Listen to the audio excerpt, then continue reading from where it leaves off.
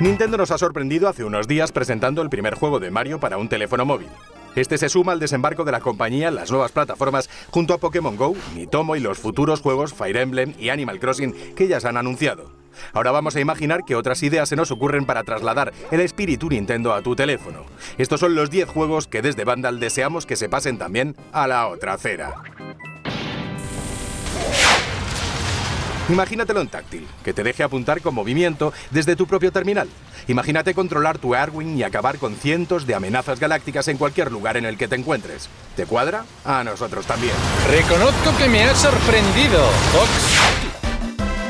Una de esas adaptaciones simplificadoras que tiempo después serían los juegos de móviles.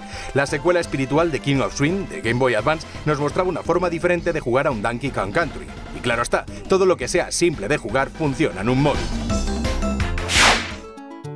Antes de que el iPhone se impusiese en el mercado, Nintendo ya hacía juegos de estilo teléfono móvil. Con una Nintendo DS recién estrenada, Yoshi llegó con un juego pequeño y basado en mini pantallas muy parecido a los que encontraríamos ahora en un Apple Store.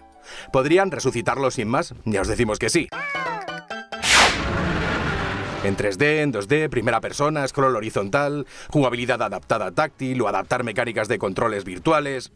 Lo que queráis, pero el cuerpo nos pide un poco de Metroid. No sabemos cómo deberían hacerlo, pero vamos necesitando un poquito de Samus. Una de las propuestas Made in Nintendo más pequeñas que han surgido en los últimos tiempos. De espíritu indie y en principio destinado a la eShop. Poolblocks siempre nos supo muy a móvil. No es una locura que aparezca en nuestros teléfonos. Otro juego que era de iPhone antes de que existieran los teléfonos de Apple. Desde el comienzo de esta saga, Nintendo buscó crear un tipo de juego diferente. Es todo lo que ofrece un Angry Birds o un Cat de Rock, pero bueno, es mucho mejor. Dejémoslo así.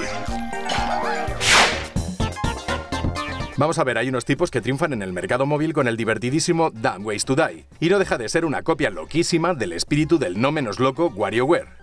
¿A qué narices esperamos para que Wario se meta en nuestro móvil? ¿Cuánto hay que pagar para que esto sea real? Ya sea de la serie Mario y Luigi o de la Paper Mario una mezcla de ambas, nos encantaría mucho encontrar algo así en la Apple Store. Porque el control es simple, las posibilidades infinitas y bueno, porque adoramos a Mario cuando se pone rolero. La jugabilidad de Mario Kart ya se ha adaptado en varias ocasiones a controles por movimiento. Ya está todo dicho, sabemos cómo debe ser, por lo tanto, nuestro nuevo Mario Kart de bolsillo. La de micropagos que puede suponer esto en nuevos personajes y vehículos. Otro que ya está hecho, o sea, tanto Phantom Hourglass como Spirit Tracks tenían una jugabilidad completamente adaptada a un sistema táctil.